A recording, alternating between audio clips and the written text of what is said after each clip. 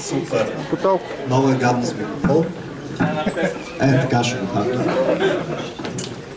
И така. Е, трябва свободни ръце да пише човек. Добре. Обявяваме конкурс с награди, който има интернет.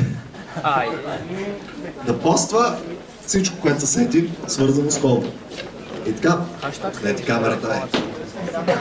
И ме ще отговорим за камера. Хаштаг собствени конфликт. Изпълня, да. И той, той лови още. Уж, да.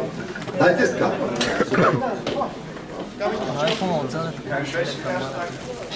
Хаштага е software.com след. Добре. Криптография за разработчици. Старт. Ще си говорим за криптография на много, много, много начално ниво. На това начално ниво, което е необходимо на един PHP програмист да си пусне, да си криптира паролите или на един веб девелопер да си подкара SSL-а.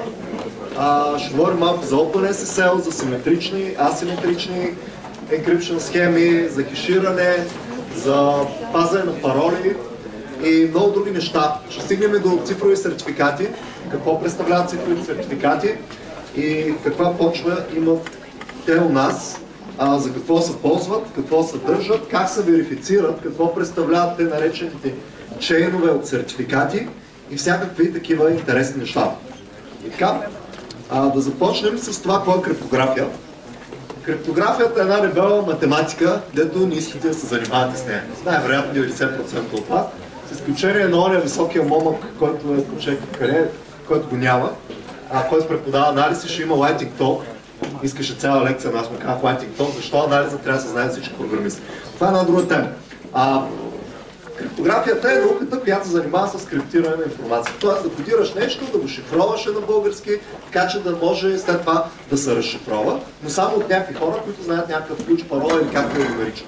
Ползва се навсякъде, когато се логате в компютъра си и си пишете някаква парола, е ползва се криптография. Така, а, лошите момчета обикновено ползват криптоанализ. Криптоанализа е концепцията да щупим криптография. Ако ползваме слаби алгоритми, например да направим хиксор с софтуни на вашата парола, нали, което е слаб алгоритъм за криптография, а, това може да се разшифрова. Криптоаналитиците са много добри, сигурно знаете, че по време на Втората световна война там германците са комуникирали криптографски с подводниците, а пък а, някакви там ги бяха прихванали с криптоанализ. Ето ви един прекрасен пример. Само че тогава не се прави това нещо от компютри, а от механични устройства. Какво е encryption?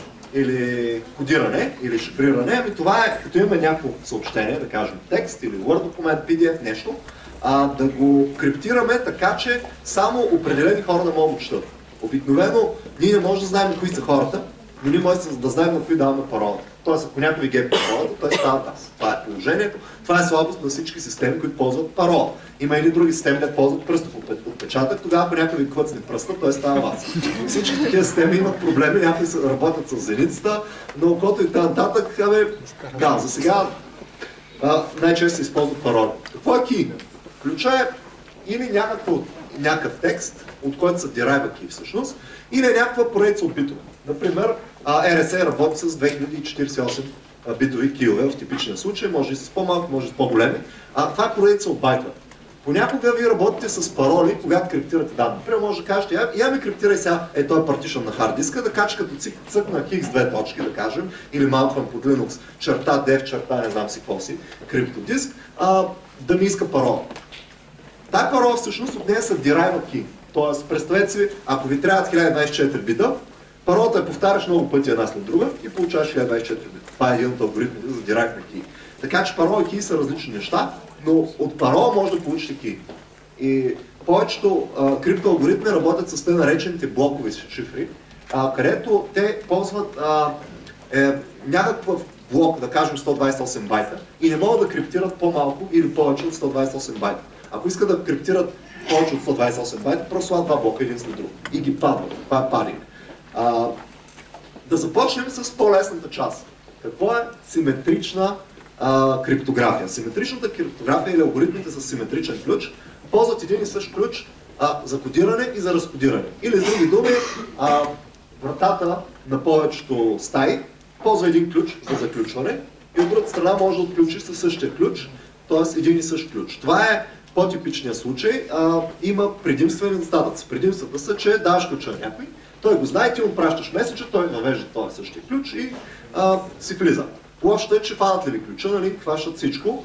А, това въжи при повечето схеми. Нали, има сега схеми с плаващ ключ, сигурно сте виждали електронното банкиране, има едни такива генераторчета. Нали? Те са много по-сигурни, защото това е, там имаме криптография в устройството, криптография също на, на сървъра и ключа на всяка секунда се сменя. Това, това са по-сигурните системи, но в нормалната интернет криптография, да наречем, се ползват е такива неща.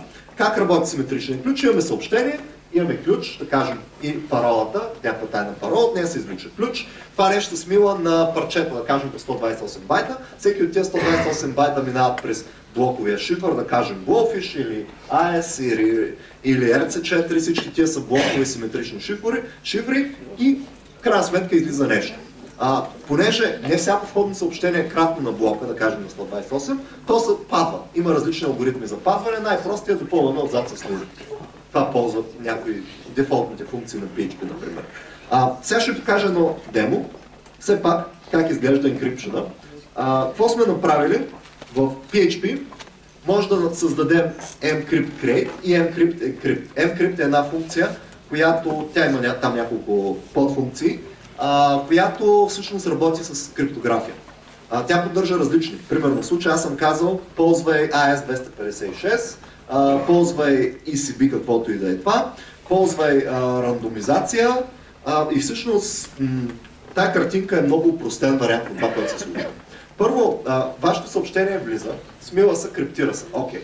Освен това обаче в него, в изхода се записват разни метаданни. Например, това е криптирано с този алгоритъм. Например. А, след това се записват разни други метаданни. Падинга е ето това.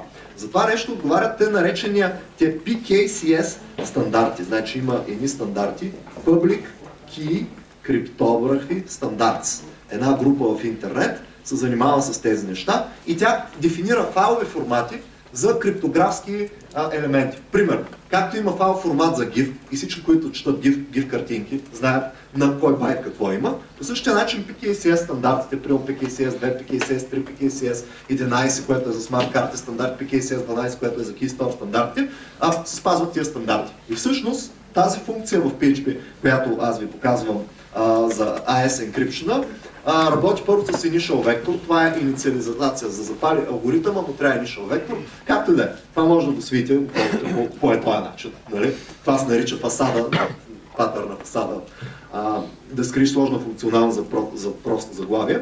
И в, в крайна сметка, ето това е криптирането. Сега ще ви го стартирам в браузъра. Направил съм простичка веб формичка, в която имаме тайно съобщение, парола, криптираме го и когато го декриптираме, получаваме това. Нещо такова може да изглежда едно криптирано съобщение. В случая криптираното съобщение е бинарно, но аз когато го извеждам, го минавам през Base64, а, защото ако не го направя, ще излязат някакви каракацили, които няма да ви харесат. Ето ги каракацилите.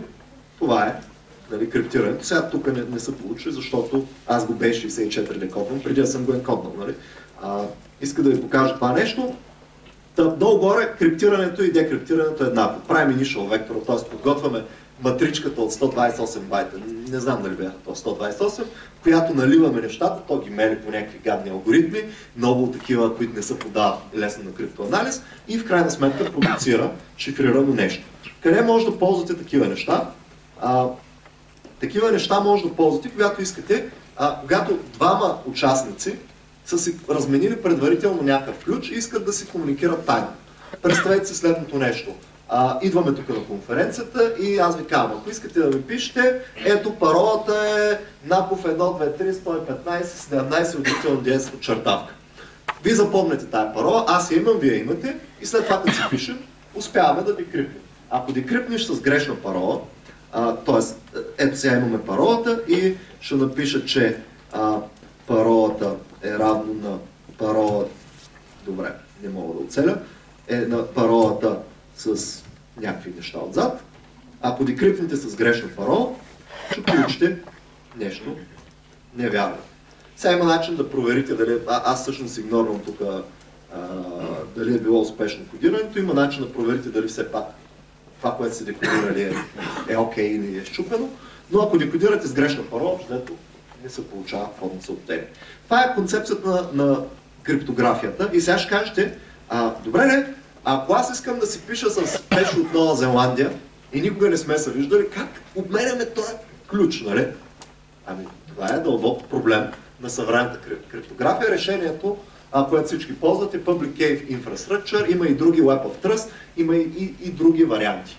А, но общо взето няма лесен начин двама човека, които не се познават, да си обменят ключ.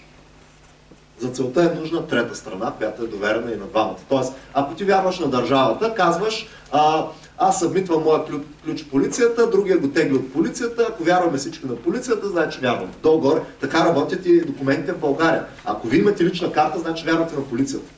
Ако някой ви иска лична карта, значи вярва на полицията.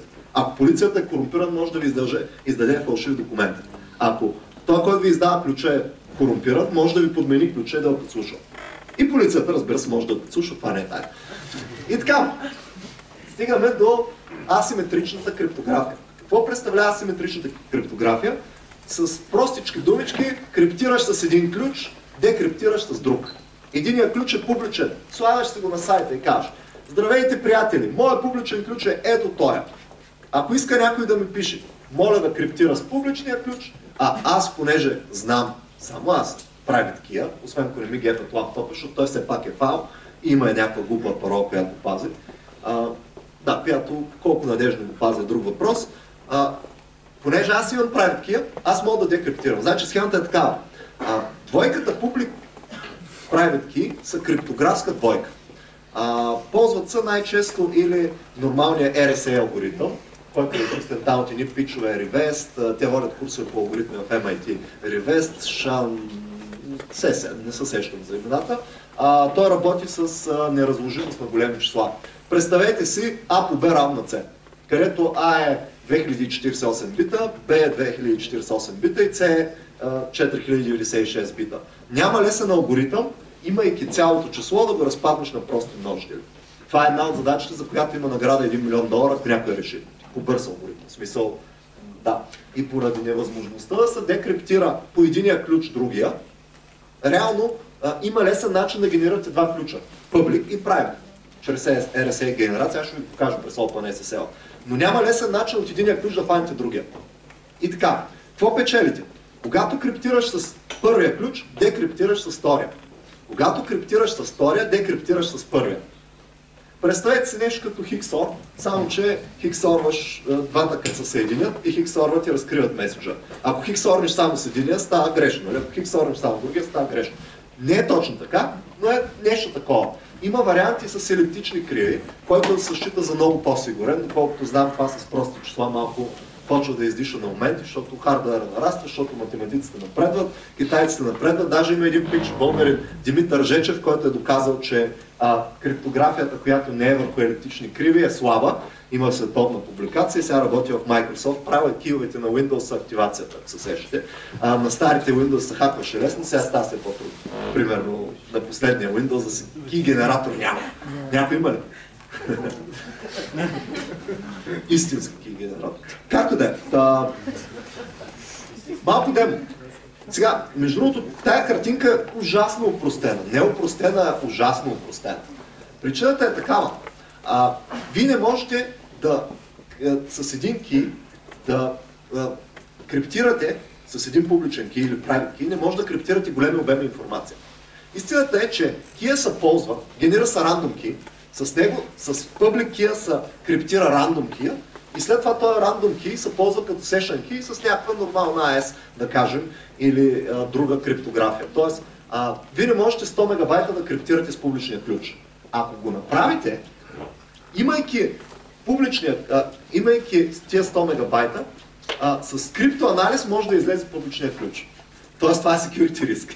Ако те ви знаят, в смисъл, ако ви знаят входното съобщение, а, абе, ако имат достатъчно информация, могат да направят криптоанализ. Спомняте ли си, имаше един хакер за zip пароли, zip, zip, знаете, че може да има пароли, който ако имате един от файловете на архива, може да ви изкара паролата много бързо. Защо? Защото той знае, че при този файл, с тая парола, излиза е този изход. И като направи малко обратна връзка, и излиза паролата. Затова, а, когато ползвате асиметрична криптография, реално само ключа, който се ползва вече за симетрична криптография, се криптира. Всичко това е опаковано в съвременните алгоритми. Това, което аз ще ви покажа е отново PHP. А, между другото, аз не съм фен на PHP, но криптофункциите ми харесва как са направени много простичко и наистина а, може и индиец да ги ползва. Та, какво съм направил? Първо ще ви го стартирам, после ще ви го покажа. Имаме публичен ключ. Публичният ключ а, има един стандарт, Begin Public Key. Това е на OpenSSL стандарта, който всъщност май е световен, защото Information Server го ползва, Apache го ползва, Nginx го ползва. Насякъде, където имате SSL, ключовете стоят в някакъв такъв формат. Това е B64 кодиран, PKCS, не знам си кой номер, стандарт, който съдържа контейнер, който съдържа информация за ключа, в него пише колко пита е, какъв е алгоритъма, как е да се ползва и така нататък. И в крайна сметка, ето това ви е публичният ключ. Той е публичен ключ, затова се нарича публичен, защото той е общоизвестен. Много хора, а, особено Linux на сайта имат моля изтеглете моя публичен ключ. Нали? Тоест, аз на Наков.com си го слагам и това е публично. Публикувам го във вестника, по телевизията го давам. Така. Private key съответно не е, не е private, моля не снимайте. Естествено, аз това го генерах преди малко. Private key представлява нещо по-дълго, и в него има пак много допълнителна информация. Тоест, той Private Key знае, че е RSA, знае, че е 2048 битов и разни други неща. А, ако аз криптирам нещо с това, мога да го декриптирам след това с това. И на обратното. Тоест, те са... Ако имам двата, мога да прочета съобщенията. Ако имам само единия, мога да криптирам и той, който има втората част, може да го да криптира. Все едно, представете си, че имаме една парола и Пешо знае първите пет букви, Гошо вторите пет. Ако се съединят, нали, ако имаш и двете части, можеш да прочетеш цялото. Но не е точно така. И така, имаме някакъв меседж, да кажем а меседж, казваме криптирай, то ми го криптира, получаваме нещо е такова дълго. Това е B64 енкоднато, по PKCS нещо, представлява един контейнер, в него между друго има, има доста неща, има дори рандом елемент. Забележете, че при resubmit това става друго. Беше DY, добре, сега е DYD, нали така? При resubmit е нещо друго. И сега ще кажете, как така? С един и същи ключ. Кодираме едно и също съобщение и всеки път резултатът е различен. Отговор е, има рандом елемент вътре. Всеки път, когато ви кажете криптирай с публичен ключ, ето това, се генера един рандом сесиен ключ. Той се криптира и върху него се пускат нещо, цялата криптография. Тоест има рандом елемент вътре. И затова е нормално и е правилно и е странно, ако не е така. Нали, много хора си мислят, че а, трябва да следват тази картинка. Не, тази картинка е грешна. Тоест тази картинка е прекалено упростено нещо. Все едно някой да ви каже, а, пъхаме ток и компютъра тръгва. Нали? Упростено казано, така е. Но вътре има микропроцесор, който прави някакви по-сложни неща. Нали? Има памет и т.н които са скрити. Та, това иска да ви покажа иначе като код как, как работи това нещо. Ами OpenSSL Public Encrypt, съобщение, а, изход, output, просто го връща по този начин и Public Key. OpenSSL Private Decrypt, криптираме, абе, иди ред. Това е. За това нещо работите наречения OpenSSL. Не знам дали сте чували. OpenSSL движи не, нямам статистика, но според мен повече от половината криптография въобще света. OpenSSL а, може да се го инсталирате и за Windows или да ползвате някакъв стандартен SigWin. Има си командички, има много неща. Това му е UI, той се разпространява и като библиотека и в PHP, да кажем, и в други а, нали, среди. А, той ви е даден на готово. И така, с OpenSSL какво може да правим? Още едно демо съм ви приготвил. Как може да се генерираме ключ? А, не е това. Генериране на ключ. Генерирането на ключ става ето по този начин. OpenSSL, сега ще ви го пусна. Вижте как му отне някакво време. И сега имаме а, private key PEM. Ето го private key. А, имаме, освен него, и би трябвало да имаме и public key. Не е това. Да, трябваше да го пусна, sorry, трябваше да го пусна в тази директория, защото сега в момента правя някакви Open... Добре. Open Command Window. Нещо не ме слуша. Стига бе. Виждате ли Open Command Window? Shift и Да, не с Shift. Е, точно това. Точно това. Аз съм в зипа ли? Добре, добре, добре, добре. Пло. И сега вече получихме private key. А между другото, това съдържа и public key в себе си и от него може да го екстрактнем. Вижте сега, втора, втория ред от командата ми е по този private key, моля екстрактни публика. Тоест, стандарта на PEM файловете, те наречените PEM файлове, които са PKCS, не знам си кой е стандарт, за private key съдържа в себе си и public key. Сега от private key аз ще екстрактна public key, защото той го има вътре и вече имаме ето това. Ето това мога да ви го дам на вас, а ето това би трябвало да го пазя в тайна, защото ако ми го гепите, вие ставате мен. А, например, с такива килове се автентицира SSH. Чували сте SSH? Това е протокол. Абе, Linux ако иска да си влезе в сървъра през конзолата, прави SSH сесия. А, това е нормалната автентикация в Linux и най-често тя става през килове. Тоест ти си слагаш в една тайна директория private key и сървъра от среща му набутваш този key и кажеш всеки, който се автентицира с key, който съответства на този публичен, моля пускай го. Той не е приятел, един вид. А, и тогава не въвеждате пароли. Обаче ако ви гепят лаптопа, става вас. Нали? Естествено, че винаги има този риск. И така, нямам повече време за публики private key затова нещо много по-лесно. Хеширане. Какво е хеш? Хеш е математическа трансформация, програмна трансформация, може и да не сте математици за да хеширате, а, която трансформира едно входно съобщение в някакво число. Най-простичко казано е това. А, например, когато ползваме структурата от данни хеш таблица, за, за пешо, за hello може да излиза ето това. При hello излиза това. При пешо излиза нещо друго. И сега от това число, там в хеш таблицата се смята в коя кутийка попада този ки и се прави много бързо търсене с сложност единица, каквото и да казвах, ще го учим в курса по структура данни алгоритми. Но това е класическата хеш функция, която служи а, голям брой стрингове или елементи да ги мапни към малък брой числа, например към множеството на 32 битовите числа, които са само 4 милиарда. А всички входни съобщения са много, много, много, много повече. Нали? Оттам идва и концепцията, че имаме ентропия и че от хеша не може да възстановим входното съобщение. И така, криптографски силни хеш функции са такива хеш функции, при които е много трудно или много страшно ресурсоемко, ако имаш хеша да възстановиш обратно ключа. И съответно къде се ползват. Вместо да дадеш на някой паролата, ти хешираш паролата и я записваш хеширана. И от хеша няма лесен начин да възстановиш входната парола. Освен ако нямаш речник, в която пише на този хеш, това му е паролата. На този хеш, това му е паролата. Няма лесен начин да изчислиш тая функция, ама има лесен начин да изчислиш обратната функция. И можеш да пробваш всички думички, например всички столици. Някой се слага Пловдив за парола или Мадрид за парола. Виждал съм такива хора. Можеш да ги брутфорснеш, има такива неща. И така. Ще стигнем до следващия слайд, където е как да пазим пароли, защото хеширането не е достатъчно, за да пазим сигурни пароли. А, нали, няма някой в залата, който си мисли, че паролата ви за Windows някъде има на хард диска записана. Надявам се, че чак толкова наивни хора няма. А, система, в която пазите парола в plain текст е писана от неграмотен човек и е абсолютно мега идиотчина, която не знам как съществуват такива хора, но вярвайте ми, съществуват. Аз един път бях набарал всички пароли на всички студенти от ФМИ, защото те бяха в една система, която просто не ги криптираше. А, и която имаше а, Oracle с дефолтна парола, в смисъл System Manager май беше. А, и пусната от интернет да да се конектваш, да не забравяш. Така, Windows XP не е, не операционна система, то е UI конзолно приложение с графичен гай. Как да е там? Какво е криптографска хеш функция? Message Digest. Message, това, това се нарича още.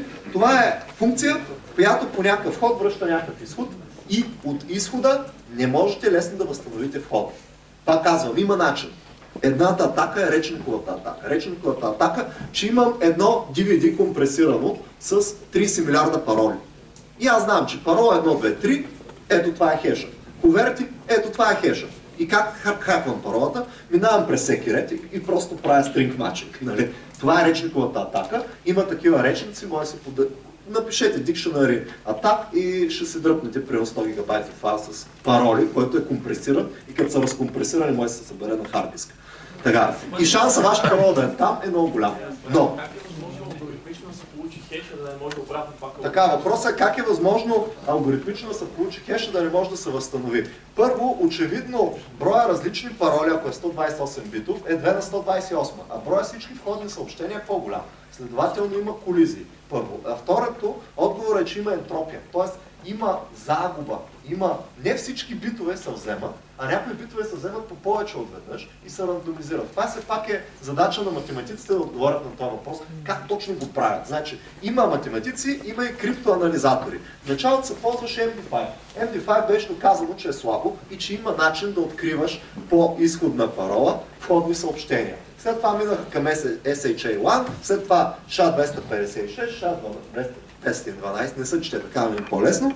RIPE-MD и има още 400 функции, може да си ги лиснете и да ги разгледате. И така, как се прави MD5, т.е. кеш, не MD5, sorry. А, първо ще ви го пусна, после ще видим и кода. Един ред. Просто кажеш хеширай това. И всеки път, когато хешираш това, излиза едно и също. Но е възможно да въведат друго съобщение, да кажем ето това, и хеша абсолютно да съвпада. Това не е грешка. Това е нормално.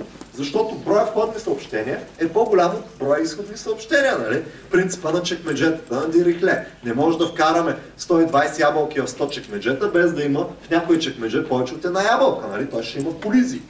Ето, пак ви говоря за математика. Не съм математик. И така, как хешираме криптографски? Ами казваме хеширане, което е алгоритъм и false означава нещо се даваше false, за да, за да ви го направи в ето този вид, защото иначе излиза бинарно. Това е Абе, по 2 байта за, всеки, за всяко число, числистична бройна система ги залепва. Това е за това слава false. Добре, преминаваме към по-интересната част, защото по-интересната част е как да пазим пароли. Това директно а, касае всеки един от вас, защото всеки един от вас Нали искате да ставате девелопери или сте девелопери? Не съм бъркан, нали? Не съм се объркал. Всеки един, който прави софтуер, рано или късно ще има юзернейм парола някъде. Някой някъде ще въвежда юзер и парола, за да влезе в вашата система или а, ще се опита да нахакне. Как се пази парола? Очевидно, да я пазиш в plain text е ужасно неграмотно изпълнение и супер лоша идея. Никога не го правете. Това не е грешка. Това е много груба грешка. Направо феноменално груба грешка. Това е все едно да го направите без парола. Защо? Защото всеки, всеки един човечец, който има достъп до компа, може просто да отиде да събере всички пароли. И като събере всички пароли, знаете ли колко какъв процент от хората ползват същата пароля за мела си в Gmail? Большинството. Над 50. Е, много е лошо някой да вижда вашата парола. Друг е въпросът, че ако някой има достъп до сървъра, може да отива в формичката, която взема паролата и просто да, да напише един ред, моля изпрати на този имейл адрес, юзера и паролата. Нали? И всеки път, като се логваш, да го направи. Това няма нищо общо с криптографията. Това има общо дали давате физически достъп на хората до сървърите. От желязото, смисъл, кой може да влиза в сървърното помещение, защото той може да детачни хард диска, да извади код на трябва, да го завинти пак, нали? А, ако има физически достъп до и така нататък. Но тук много се отклонихме. Как се пазят пароли? Паролите са пазят хеширане с сол. Това е индустриалната практика, която осигурява едно добро ниво в сравнение а, с това да пазиш clear text пароли, в сравнение с това да ползваш хеширана парола. Или с две думи, какво правим? Трябва да запазим паролата, примерно Гошо. Гошо е парола. Трябва да е Гошо 1, 2, 3. Трябва да го запазим това в базата. Естествено, ако запазим така, някой може да го прочете, нали? И, и след това да го вземем. Ако го хешираме, хаш от паролата, ще получим нещо, което обаче, ако това Гоша 1, 2, 3 го има в някои от речниците по интернет, 100 терабайтовите речници, ня, някой ще може да го декриптира. За това какво правим? Правим един ранд. Правим едно рандом число. И това рандом число го записваме в базата. Значи в базата има две колонки. Рандома, нарича се още солд, и хеш на паролата. Вземаме султа, Представете си това е един стринг. Апендваме го към паролата, която сме въвели, хешираме го това и го записваме в базата. Тоест, това нещо е тук, а султа я слагаме тук. Тоест, не пазим паролата, а пазим едно рандом число, плюс хеша, който се получава от рандом числото плюс парола. Добре, Какво? може да прочете паролата от Въпросът е, ако някой, да, разбрахте въпроса, ако някой може да прочете, ако някой има достъп до базата, може да прочете двете колони. Абсолютно си прав, но не може да прави речни колата. Това е пред- предимството. Тоест, той може да прави brute force decryption, но не може да прави речникова директна атака, такава смисъл да вземе 100 терабайта речници. Защото има рандом елементи, няма да има никакви съвпадения. Там ли имаш въпрос? че? Да, само да спомена, нарича се Rainbow таблица, това, което казваш, е много трудно постижимо, но с Rainbow таблици е постижимо в рамките на значи, по-нова стандартна, по в рамките на 15-20 минути за 100 GPU да се хаква с Rainbow таблици. Сори, просто искам да го кажа, защото е много важно. Има и, има и по, да, има и по-хитри неща. С GPU-тата нещата станаха по-сложни. Сега нормална парола зависи кой е, примерно нормалните пароли, над 20 символа. с 10 минути с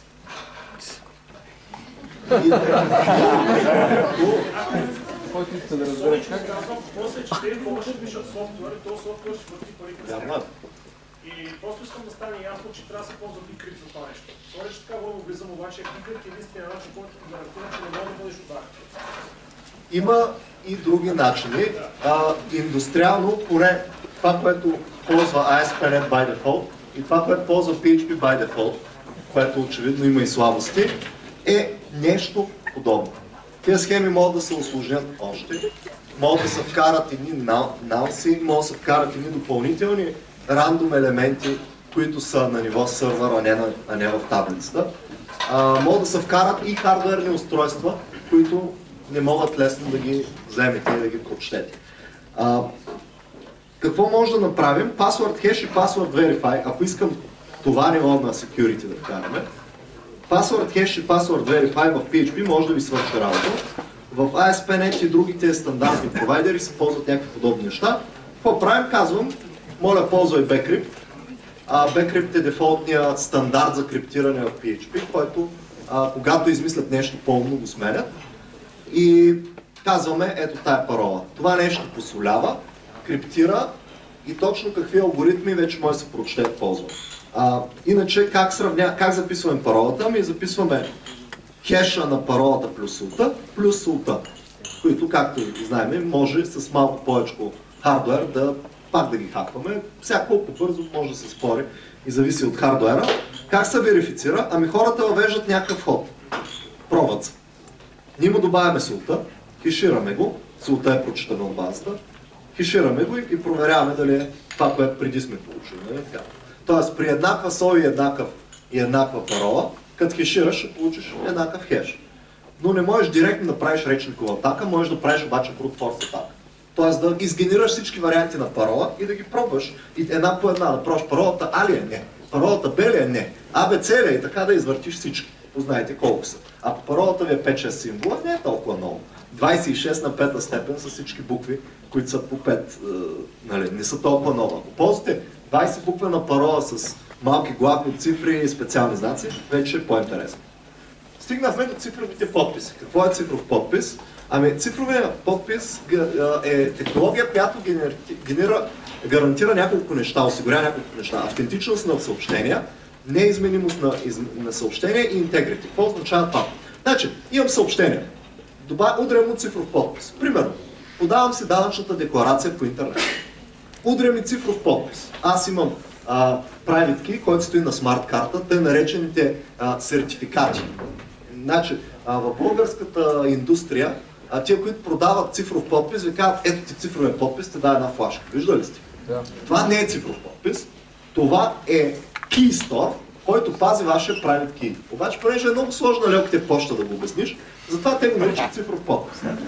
Значи, това е private key. Там се ползват public key и private key. Когато ти подпишеш нещо с твоя key, който имаш само ти, т.е. ти физически на флашка, и компютъра има достъп до него само като флашката е закачена вътре, нали? т.е. някаква сигурност има, а, освен това има парола и пин код и така нататък, Подпишете ли това с key, се получава цифров подпис. Този цифров подпис какво казва?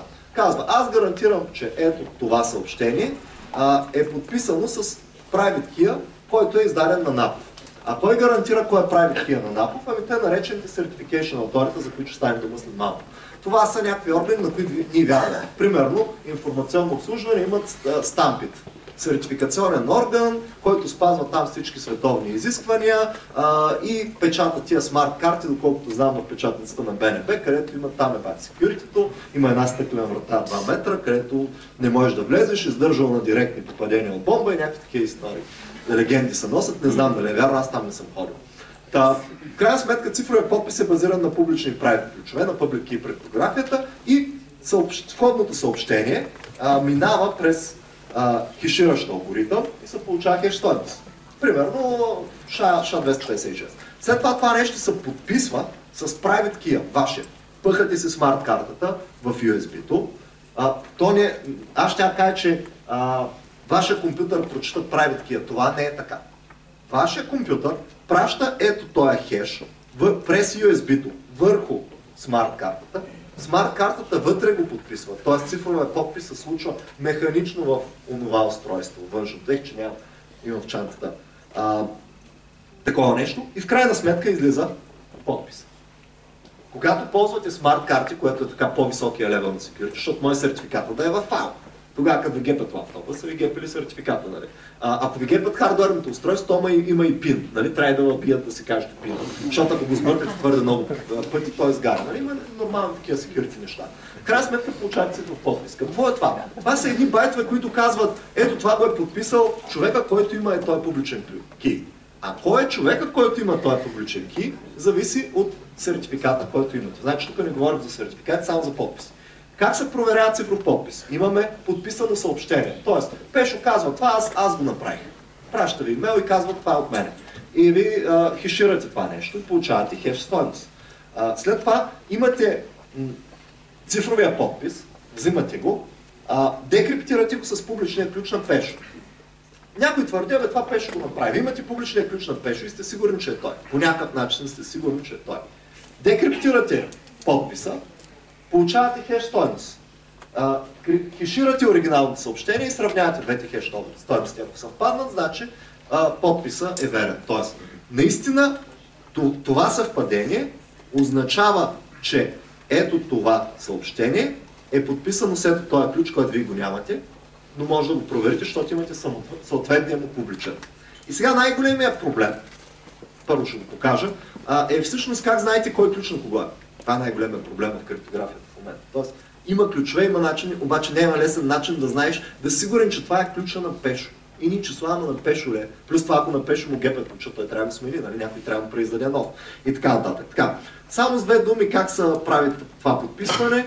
Uh, OpenSSL има подписване, ще ви го пусна директно. Uh, подготвил съм ви демо. Uh, имаме съобщение, имаме private key, подписваме го с него и след това с public key проверяваме сигнатурата. Ако сигнатурата е валидна, ако сменим една буква в public key, той вече няма да съответства на този private и сигнатурата вече няма да е валидна. А, само, че ми каза, че сбърка го кия. Трябва така да променя нещата, sorry, а, че да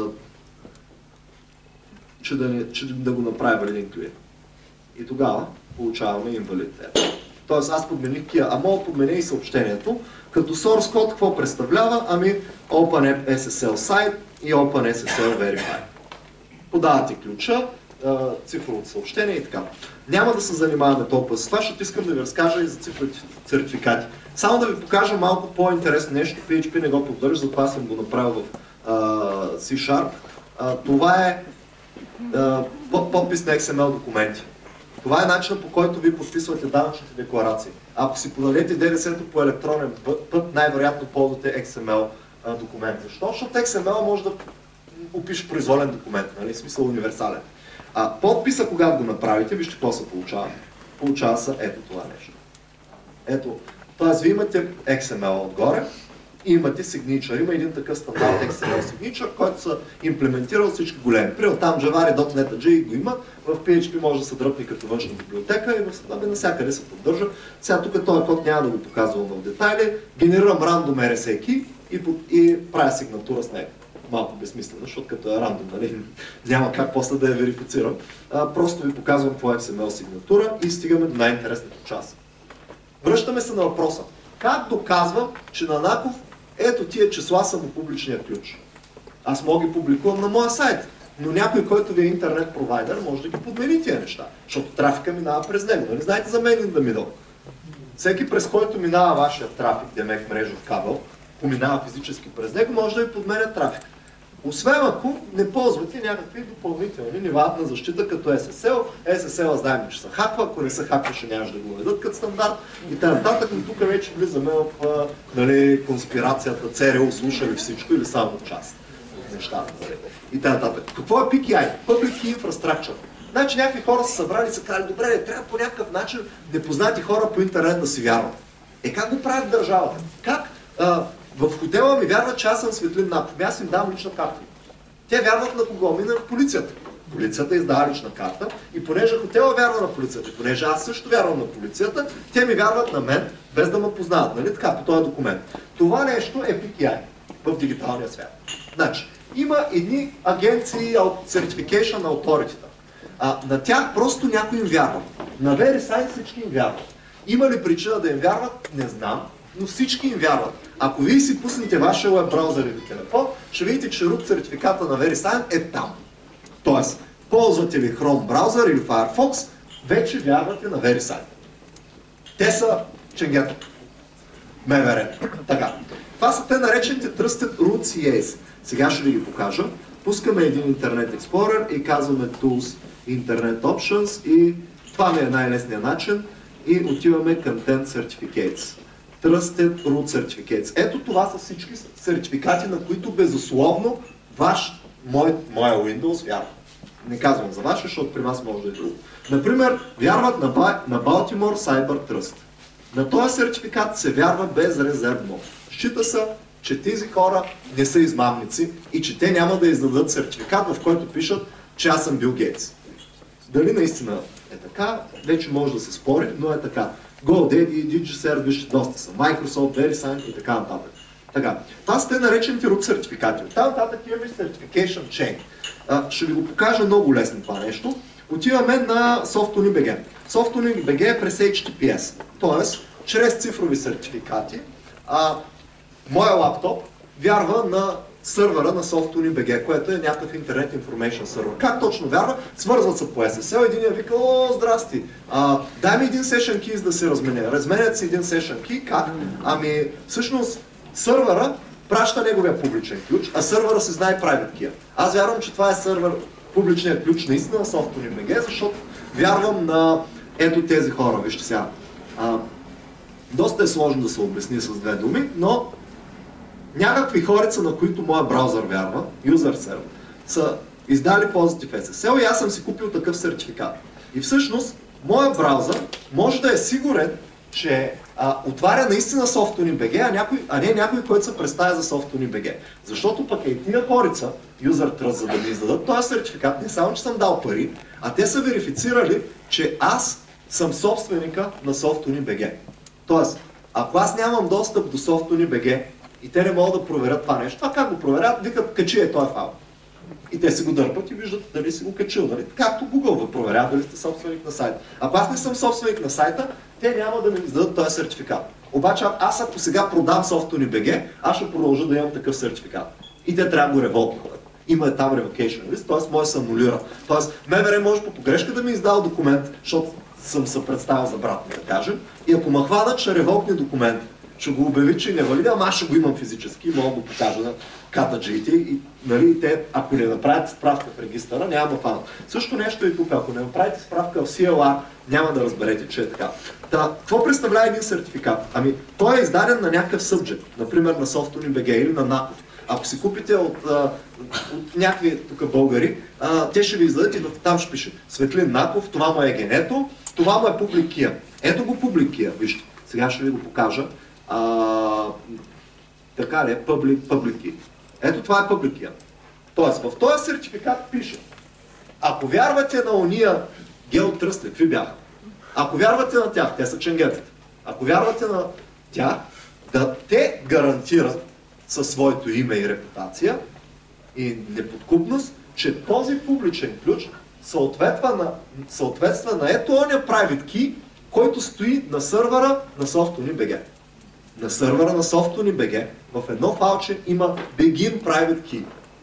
Сега не е точно в едно файлче, криптирано е с пароли, малко по-защитено е сложено, но private key на SoftUni.bg стои в дейта центъра на Telepoint в нашето желязо, което сме си купили, импортнат в Windows Certificate Store, защото ползваме Windows и Information Server. А Public Key, това е публично. Това не е тайна. И ако аз вярвам, че това е истинския Public Key на SoftUni.bg, значи, че аз вярвам на ето това нещо. Той я гарантира за другия, а другия се гарантира за третия. Това е начин. Това е PKI. Public Key Infrastructure. Така Public Key Infrastructure дава възможност двама, които не се познават, не се познават помежду си да си вярват. Моя лаптоп не познава Softuni BG. Все едно Пешо не познава Гошо. Но и двамата вярват на ето, ето този User Trust. Просто му вярват. Ако не искате да вярвате, не ползвайте веб. Или отидете и го изтрите. Вие може да отидете и просто да изтрите а, тия сертификати. Нали? Може да отидете тук, Tools Internet Options, а, Content Certificates и просто може да ги зачистите. Dell и така. Сега нямам даже права да ги изтрия, както да е. Не го правете, защото все едно да спрете вярвате на полицията, нали? Защото имало фалшиви лични карти. Ами това е въпрос на пари, най-вероятно. Та, видяхте какво е Certification Check и цялата история. Та, това, което показах, са тъй наречените X509 сертификати. CER файл. В един CER файл пише, ето този сертификационен орган гарантира чрез ето тази сертификационна верига това дръвче, кой на кого вярва, че този публичен ключ съответства на ето този. В интернет те са за домени. Тоест, сертификатът ти е за софтуни BG, да кажем. Той не въжи за Napov.com. За Napov.com ви трябва друг. Нали така? Всъщност, това е вашата електронна лична карта, в която пише, този ключ е на твоя човек. Когато говорим за цифрови подписи в България, закон за електронния подпис, а, вие получавате на смарт карта private key плюс един CER файл, който е public key. В public key пише Stampit като Certification Authority, което се признава от държавата официално по закон, а, гарантира, че private key, който съответства на ето този CER файл, е на лицето Светлин Напов, след това е ЕГН. Това е цялата работа. Електронен документ. И сега има self-site сертификати. Случва ли се да отидете на един сайт и това да кажа, бе, опасно е, тук не е наред сертификат. Сещате ли се? Да. Едно гадно съобщение и все пак, да. Това са те наречените self-site сертификати. Сега ще ви генерирам един такъв. Как се генерира self-site сертификат? Тия, тия ще ги изтрия. Ами може да се направи с OpenSSL. Първо, а, аре изчезни. С OpenSSL казвам генерираме RSA key. Да кажем 1024 години. Пускаме тая команда, получаваме кия и получаваме този server.key. Това е private key. Всъщност private key плюс public key, както знаем в тия. Абе и двете стоят вътре. Така. След това мога да кажа, напреми сертификат request. За да не пиша всичките там реквеста за кого е, примерно за Наков, коя организацията е нататък, съм ги набутал в OpenSSL CNF, момент само а.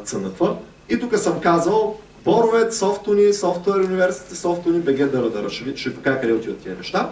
Набутал съм ги и съм казал, моля, а, направи ми сертификат request. Този сертификат request може да се го генерира всеки един човек. Защо нямам пейст? Нямам пейст.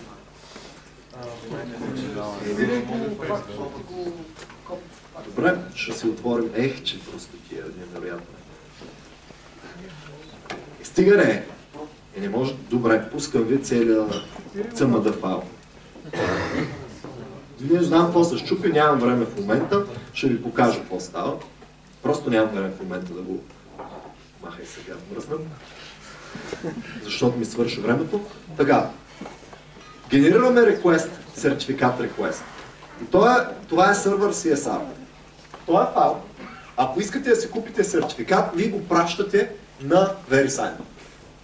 Или на някой, на супер хостинг, да кажем. Всички хостинг е, продават сертификати. Вземат този файл и го пращат. И те казват, а, в този файл пише, че ти си Наков ком. Я докажи. Доказваш по някакъв начин. Има различни начини. Примерно имаш имейл от Наков.com или качваш един файл техен или през DNS. Има различни варианти да докажеш, че си Наков.com по неоспорим начин. И те ти издават сърата. И в момента аз имам сървър църата. Това е self-signed сертификат, погледнете. Забележете, че той е от тия гадните, дето им се вярва. Виждате? С хикши. Това е сертификат, за който познайте кой гарантира, ами никой. Тоест, все едно аз съм си напечатал на принтера лична карта, на нея пише Светлин Наков, но тя не е издадена от Министерството на МВР-то, ами аз сам съм си я издал. Това е self сертификат. И това е нещо, което... За, защо все пак го ползват хората? Ами, Защото е без пари. Ако искаш да пуснеш SSL, да имаш HTTPS на един веб сервер, на пачето, трябва да имаш сертификат. Ако аз искам да му вярвам на това, аз мога да го инсталирам в Trusted Store, ответе и да кажа, пич, на това му вярвам.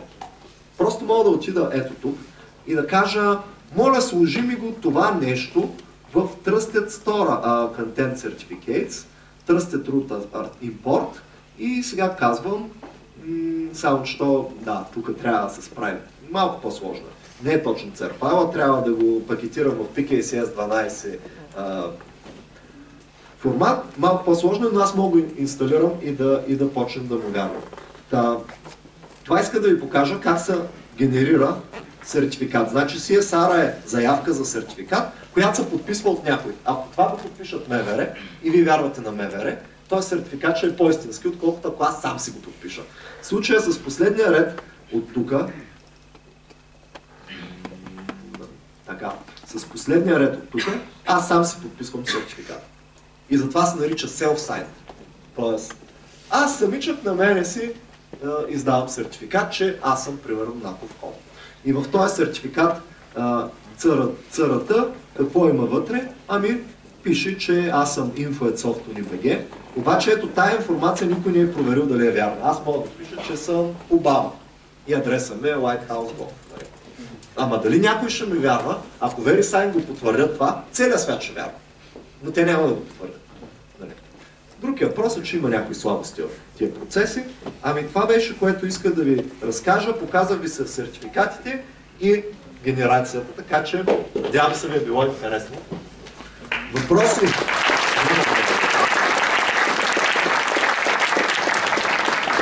Така, почивката в 12